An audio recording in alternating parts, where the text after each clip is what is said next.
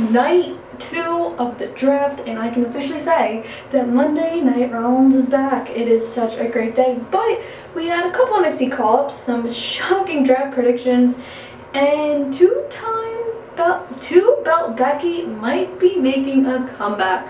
All that more as we discuss night two of the 2021 WWE Draft, and of course last night's episode of Monday Night Raw. Welcome to a brand new episode of Kimmy Talks Wrestling, and we are starting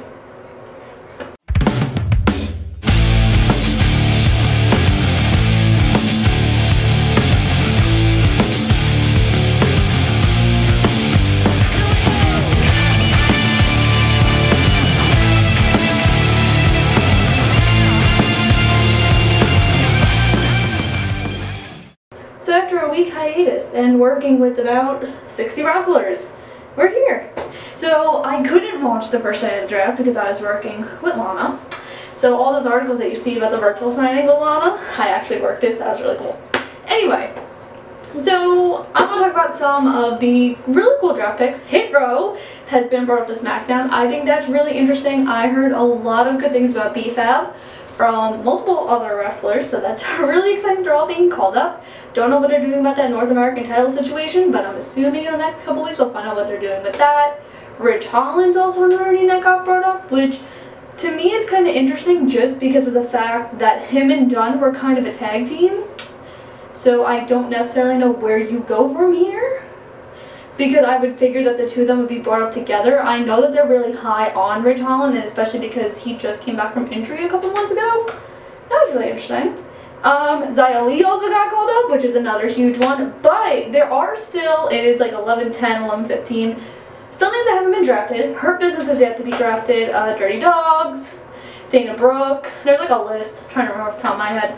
But to me, the most shocking thing, if you could see my shirt, um, I think it's quite fitting I wore this because I had no idea he was even eligible in the draft. Um, Gable Stevenson!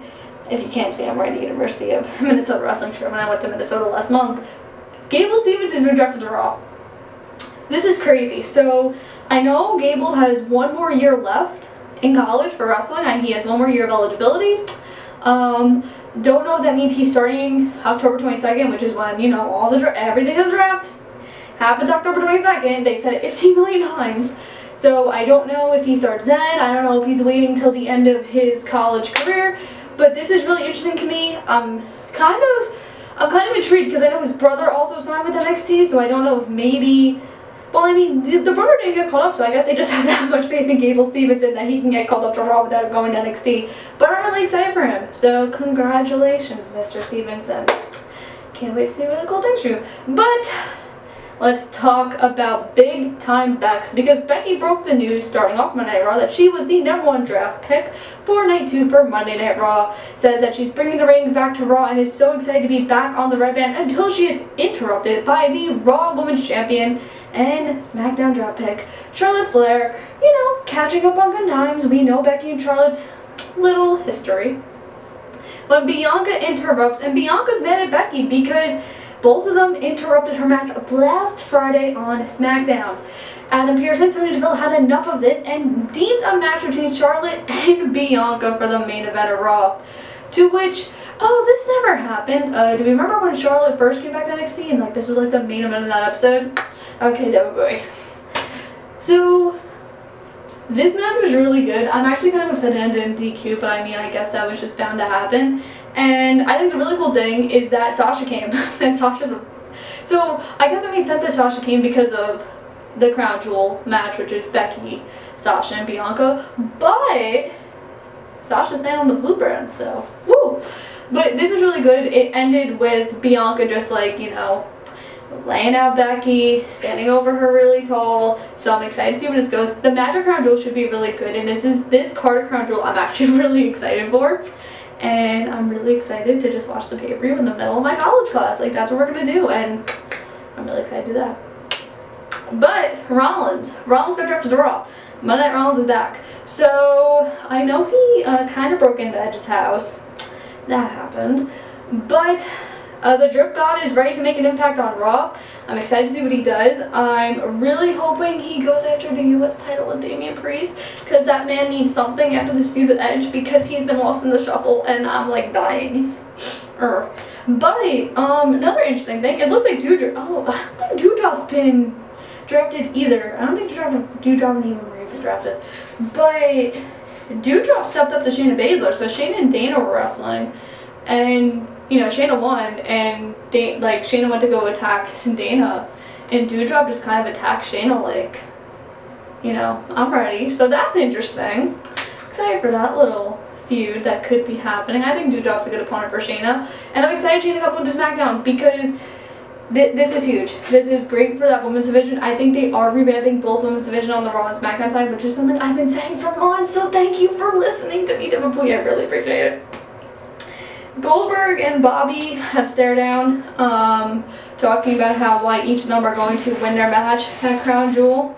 Uh, this should be interesting, meaning Goldberg's tra- I don't know what's going on there. Meaning Goldberg's track record in Saudi. So that should be an interesting matchup. Um, and Biggie versus Drew actually got confirmed for Crown Jewel. So Biggie came out and first of all, also since when were Humberto Carrillo and Angel Garza a tag team? When did this happen? Like these two were feuding. Like what? So Biggie came out here talking about how he's so excited to open up his show on Monday Night Raw because he was the first official draft. No, he was a third draft pick or the second. I think it was the third. Robin was first. Um, so excited to be introducing, like you know, opening up a show, and he's upset that the New Day got split up again for no apparent reason. And you know, he's excited because Drew confronted him. And Drew's been a long friend of his and he's excited to see where this match can come to. Drew comes out, Drew and Big E are like talking, and then they're interrupted by none other than the Dirty Dogs. And it's interesting because they each have a history with Dolph and Roode. I mean, Big E, like Dolph brought Big E in. Uh, Dolph also brought Drew in from NXT, so this was huge for you know that little thing. And there was a tag team match, and Big E and Drew won, and they said at the end, see each other Crown Jewel. So, and also Alexa got drafted. Alexa Bliss got drafted, even though she's going to be gone for a few months, which was very interesting to me, meaning that people that appear every single week did not get drafted. um, but I know that there are draft picks going on right now. Um, so I guess I gotta go see what the updated draft picks are, because I know they're happening on Raw Talk, but I want to film this first. And yeah, so I'm excited to see how everything worked out with the draft, but the one thing I will say that was kind of confusing is that they kept implementing that it was to start October 22nd, and we already started seeing people that were on, like, people who got switched to Raw already, like, on Raw. Which was kind of confusing. Like, Kevin Owens, for example, like, got drafted to Raw, and he's like, oh, I'm here, and then, like, gets interrupted by Akira Tozawa. So, I think they have to stick with one initial thing. Like, I'm, like, they, obviously makes sense that starting after Crown Jewel, but, like, keep everyone separate because now is Seth and Edge going to continue the program on SmackDown on Friday or are they going to like do it on Raw? So that really confused me. So I think that confused a lot of people. And please, love the God of Bui, please do not do this brand invitational. Do not do it. Please just stick to your gut and keep the brands separate. And with that, this has been another episode of Kimmy Talks Wrestling. I will see you all tomorrow for our NXT 2.0 review and me trying to figure out who all these people are on NXT 2.0 because I don't know any of them. But that's it for me. I'll see you all tomorrow.